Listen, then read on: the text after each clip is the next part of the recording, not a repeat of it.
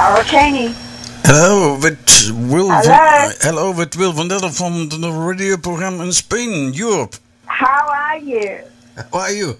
How are you with with uh, in Australia? What is this? What is local time uh, by you? It's uh, just after 6.30 p.m. 6:30 p.m. Is it the same time than in Sydney? Yes, Okay. yes. The reason that we invited you for this uh, conversation this morning is the new single "Praise the Lord." Yes, yes. That's that's a song that was written about, uh, sort of about my younger life. It's, it's, it's a beautiful little song. I just played before the conversation another song from you, What I Want. Yes. Well, that is what I want. No, they're, they're, yeah, yeah, tell, yeah, tell it. yes, no, it, that was just a bit of a fun song that was written for me by a songwriter in Australia. And she wrote Praise the Lord about my you know, my growing up. And then she also wrote another song on that same CD called A Million Stars at Blackbutt. And Blackbutt is the town where I live. And so, and then this What I Want is just a fun, a fun song that, that she decided to write for me. Uh, um, uh, a moment for the listeners. You're coming from Sydney, but you live now in Blackbutt in Queensland. Yes, that's about a thousand kilometres north of Sydney, Yeah. in another state. yeah. your music has a very special style. Your your your uh, country music is, is your favorite music, or not? Yes, yes, it is. Why? Why? Uh, I, I just, I just like. Um, I, I mean, I love the older style of country music, and it, it just, it just resonates with me, and you know, I, I just enjoy doing it. Who, who, who, wrote the, the text of the song from Praise the Lord? Uh, it was a lady called Shazza Lee from Australia, uh, and Tamworth is uh, the the country music capital in Australia. And like Nashville in America, Tamworth is to us the country music capital. And she's written oh, over 300 songs that have been recorded by herself and different artists and I was very fortunate to meet her, and then she wrote those three songs for me, which is on the CD. And then the other songs that I've recorded are, are cover songs.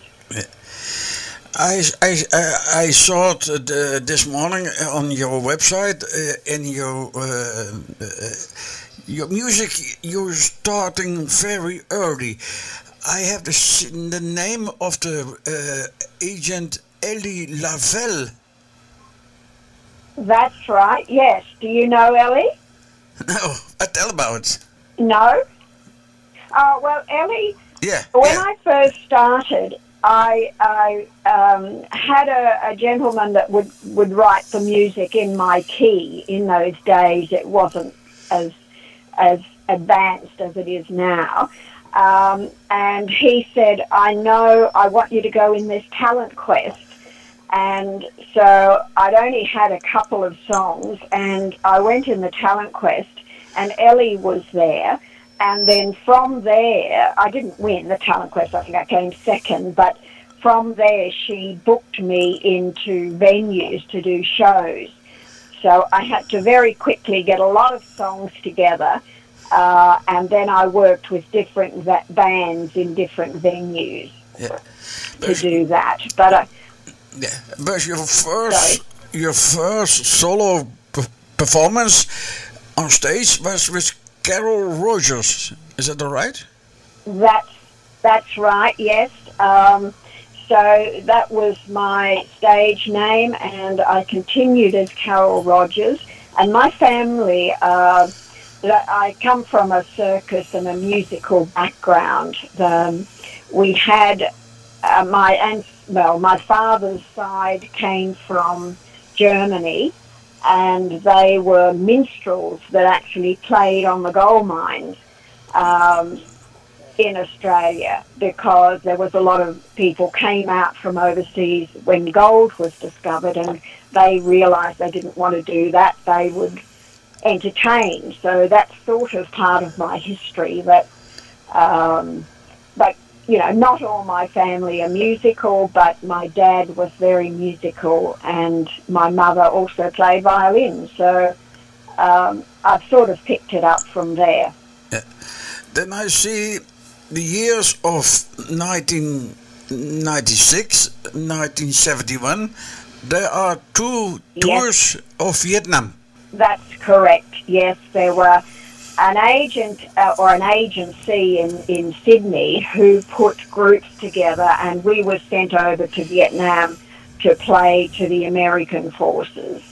Um, and because we were playing to the Americans, we were there the first time for four months. I came home for four months, and then I joined another.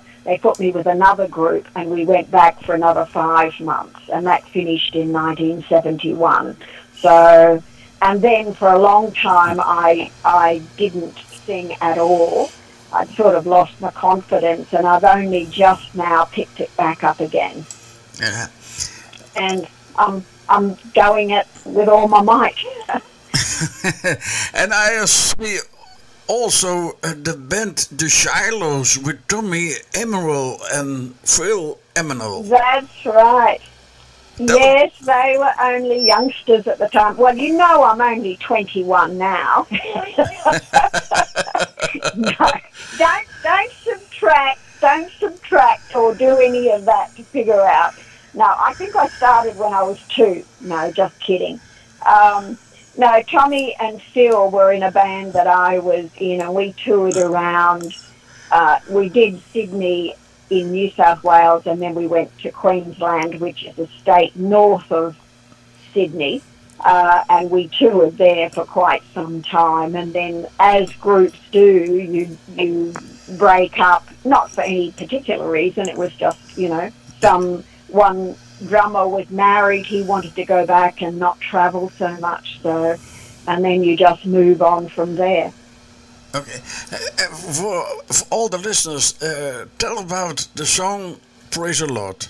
Well, "Praise the Lord" was written. Uh, I was talking to Shazza, who wrote the song, about she was just getting to know me, and I just told her about how my parents separated when I was young and how it was hard in those days because you didn't have uh, any help. We had family that helped, but my mother had four children, and uh, we've all come through it. We've all benefited, I guess, from the hardship when you when you grow up, and um, she's very close to the church, and sort of that's come through us as well.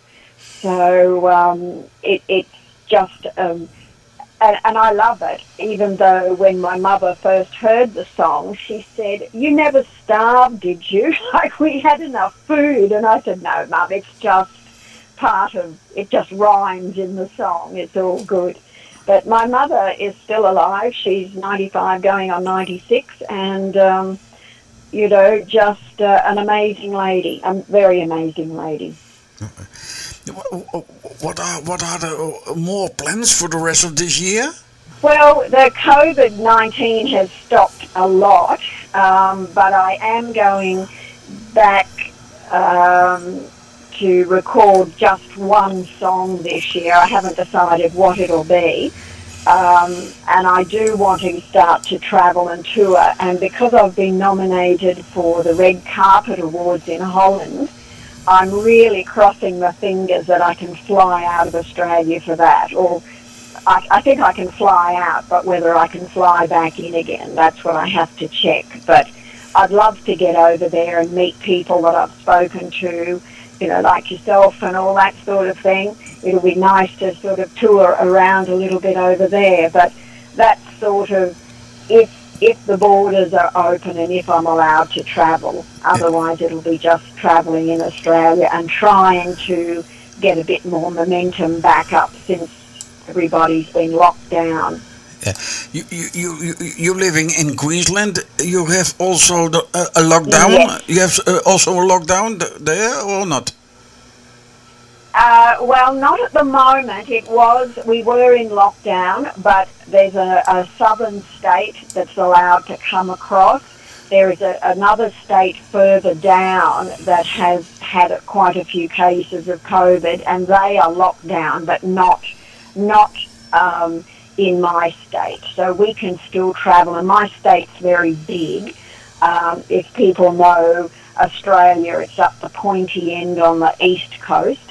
Um, so we've got uh, well over a thousand kilometres we can travel because Australia's quite big. Uh, and that's where we plan to just get out on the road and, and do some shows. Um, but it is, with everything still, with, with people restrictions, it is still a bit hard. Okay. Uh, uh, uh, for the listeners, uh, they can uh, they find more information about you on your beautiful website www.carolchaney.com. Yes, that's it, yes. And they can contact me through there or even on Facebook under Carol Chaney. Um, in Australia, and uh, you can sort of keep up with what I'm doing there. I try and get on the website and update it, but I've I've been a little bit uh, naughty and haven't kept up to date with that. But you know, people can certainly have a look and see what I've been up to. Yeah. It's now it's now winter time in Australia. Yes, it is. Um, and it's where we are. It's not like winter time over in your area. I don't know whether you get minus degrees. We don't really get that where we are. We get down to about zero or one, but then in the days we get, you know, up to about 19 degrees. So it's it's um, quite pleasant in the daytime. Um, and I, I don't mind the cold actually. I'd rather the cold than the hot, but uh, where we are in Queensland. It's called the sunny state, so a lot of southerners come up because it's nice and warm up here. Okay. So it's a bit like Florida in America, yes. Okay, I will to in the first place thank you for the conversation on on this morning here live in the program in in Europe. Um, a final word from you to all the listeners, and I go play the single "Praise the Lord." Uh, well, I, thank you for listening. I hope you've enjoyed my little part of the, the show this morning, and um, thank you very much for listening. And thank you, Wil, for for you know phoning me and having this this interview. That'd be absolutely fabulous. Thank you. Okay, you have a nice day or a nice evening. Eh? He is this morning, but you is evening now in this moment. Yes, that's right. you have a nice Thank evening. Thank you so much, and hope Yeah. hope we can speak soon. you have a nice, Okay, evening. thank- a nice evening. Thank, you so much. Yeah, thank you. Bye. Thank Bye. you. Good Bye. night. Good night, everybody. Bye.